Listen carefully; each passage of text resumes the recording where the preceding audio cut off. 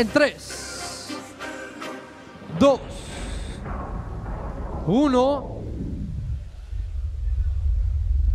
Calle 7. Y de esta manera empieza el duelo submarino, la segunda competencia de la tarde de hoy. Recordemos que ya el equipo de la Fiebre Amarilla se llevó los primeros 100 puntos de la tarde. Y acá están en juego 200 puntos. Alejo sale, Enrique también. Ahora tienen que ir rápidamente a tocar la campanada. Y Enrique da el primer punto para el equipo rojo que sale adelante tratando de ganar esta segunda de la tarde de hoy. Mucha velocidad al momento de atravesar esas ratoneras. También tiene que tener mucho control, ya que hay una parte que está totalmente sumergida bajo el agua. Acá esta parte de la ratonera clásica, pero ya un poquito más resbalosa, puede también permitirle un poquito de facilidad a los competidores para atravesarla.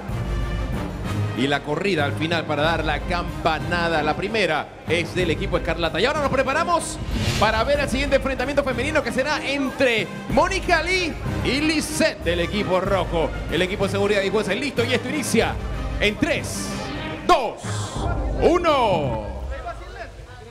Calle 7. Me llamó mucho la atención ver en el enfrentamiento pasado la velocidad de cada uno de los participantes, pero al final creo que se definió por la técnica que usaba cada uno de ellos. El señor Enrique salió, fue de pie y pudo avanzar más rápido, mientras que salió Alejo de frente. Lisette y, Mónica haciéndolo de la misma manera, corren a toda velocidad y ¡epa! Foto finish acá. No sé qué le estaba pasando a Mónica, creo que algo con los lentes y Lisette le metió el turbo al final. Vamos a verlo en foto finish. Mónica venía reída, Lisette venía concentrada, pero Mónica se lleva el punto por microsegundos. A ciegas casi, Mónica Lee venía confiando en su instinto de dónde estaba la campana. ¿eh? Oye, casi le pasa la que me pasó a mí anoche, Wanda. Pero bien, el punto es para el equipo amarillo. Aquí está claro, vemos que Mónica da primero la campanada, así que se empata el marcador con una campanada, Juan David. Vámonos en este momento a un tercer hit que va a ser el señor Mark contra Rave. Y esto arranca en 3, 2, 1. Calle 7. Inician estos dos competidores que son sumamente ágiles. El marcador está empatado a una campanada. Y acá uno de ellos se encargará de realizar ese desempate y poner adelante a su equipo. Dos técnicas totalmente diferentes. Los dos salen prácticamente a la vez, pero la velocidad de Rave le permite dar el punto al equipo amarillo que ahora está adelante. Nuevamente veo lo que, lo que hablaba en la técnica. El señor Rave sale con los pies por adelante.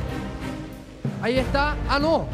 No, no, no, salió de frente. Era Mark quien venía con los pies por delante. Pero Rave sale aparentemente un poco más rápido, segundos antes. Y eso le permite dar esta campanada. Técnicas distintas, cada una lo usa a su preferencia. Lo cierto es que el marcador va 2 a 1 del equipo amarillo. Y este próximo reto arranca en 3. Oye, cómica se ve Grace con esas gafas allá. Pero bueno, venimos en 3, 2, 1. Calle 7. Inicia el siguiente duelo femenino y son Grace por parte del equipo amarillo y Nati por parte del equipo escarlata. Ambas van muy parejas, ambas en la parte superior. Oye, qué velocidad le ha metido por allá Nati para salir de esa ratonera. Parecía como un tiburón al momento de atravesar esta parte del circuito campanada del equipo rojo. Impresionante la velocidad. Me parece a mí que le metió por allá el pequeño pony en la parte superior de la estructura. Miren acá, va zigzagueando rápidamente como si nada y sale rápidamente a buscar esa campanada dejando a Grace que ya al momento de salir de la piscina se dio cuenta que era imposible prácticamente alcanzar a su contrincante y el marcador se vuelve a empatar a dos campanadas y ahora el enfrentamiento será entre Enrique y Alejo. Se invierten los carriles y este reto inicia en 3, 2, 1. Calle 7. Empate el marcador en este momento. Veamos quién de los dos puede darle esa ventaja tan valiosa a su equipo. Enrique Siu que va ya en la última parte. Alejo que le mete velocidad. Viene saliendo Alejo. Enrique muy parejo.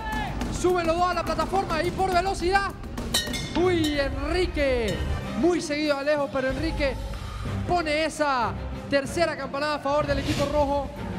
Vamos a ver, Alejo aprieta en la última parte del circuito, pero nuevamente Enrique saliendo de pie puede retomar. Pareciera que es clave aquí la salida la parte donde salen de la ratonera. No que tan rápido hacen el circuito, sino cómo salen de ella. Discusiones vemos aquí en el campo de batalla entre el señor Adrián y el señor Alejo. Tal vez, tal vez algo le estaba reclamando el señor Adrián. Importante sería saber qué recomendación le estaba dando usted. No, que le estoy diciendo a Alejo que está perdiendo un par de segundos mirando a Enrique. O sea, lo mira y en eso que lo mira pierde unos 2 3 segundos y mientras Enrique está enfocado en su carril. Y si Alejo ya es un competidor con experiencia, no debería estar viendo al señor Enrique entonces. Claro que no, no debe estar viendo. O sea, eh, siento que está perdiendo por mirarlo, simplemente. Es mucho más rápido que Enrique en la jaula, en la, en la ratonera.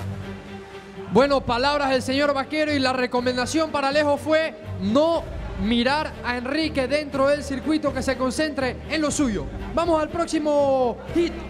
Mónica contra la teacher, que arranca en 3, 2, 1.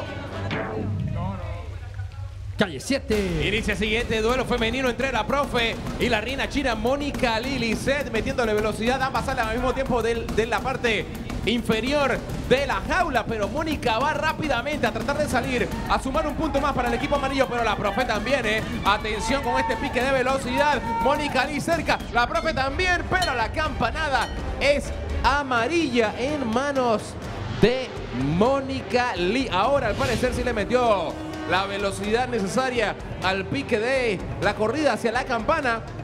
Y aquí estamos viendo la repetición. La parte crucial es esta, la salida de la jaula. Al momento de salir, ahí se pueden perder uno o dos segundos importantísimos. Y quien tiene la mejor estrategia sale con la ventaja hacia la campana. Lo cierto es que el marcador está empate a tres. Y los encargados de desempatar esto son Mark y Rave. Y este reto entre ellos inicia en 3, 2, 1. Calle 7. Arranca este reto que como dijo bien Marco, sería el reto que le da la diferencia para irse arriba a cualquiera de los equipos. Rafe y Mark muy parejos en esta parte del circuito, salen cada uno de ellos. Mark sale con los pies por el frente, Rafe de cabeza, pero cómodamente Rafe se frena, epa. Consigue la campanada, pero Mark venía de cerca. Se enoja por acá Mark. Tal vez por la burla de Rafe. Rafe le hace señas allá que no le escucha, que tiene agua en los oídos. Lo que sí es cierto es que Rafe quiso hacer su morisqueta y todo ahí antes de llegar a la campanada. Y a Mark no le gustó en lo absoluto. Pero tranquilos señores que esto podrá resolverlo en los próximos hits. Venimos con el próximo. Nati contra Grace. Y esto arranca en 3, 2, 1. Calle 7. Nuevamente Nati contra Grace. Vamos a ver cómo se da este reto femenino. El marcador está 4 para los amarillos contra 3 del equipo Escarlata. Y ahí van las dos, metiéndole velocidad rápidamente. Ambas muy parejas. El momento de la salida es importante. Ambas van a salir de la piscina. Vamos a ver quién logra hacerlo mejor. La pique, el pique de velocidad entre ambas. Y la campanada es roja. Y el marcador se vuelve a empatar. Un reto muy parejo. Las campanadas estuvieron muy cerca una de la otra, pero esta es la parte crucial. Salir de la jaula y comenzar el recorrido hacia la campana es lo que determina qué competidor se lleva ese punto para su equipo. Y ahora vamos a ver el duelo nuevamente entre Enrique, que ha resultado ser más veloz que la nutria de agua dulce en este reto acuático. Y Alejo, vamos a ver si logró hacerle caso a los consejos de sus compañeros. Y este duelo inicia en 3, dos, uno. Cambio comercial, quédense con su aire muchachos, porque al volver seguimos con más.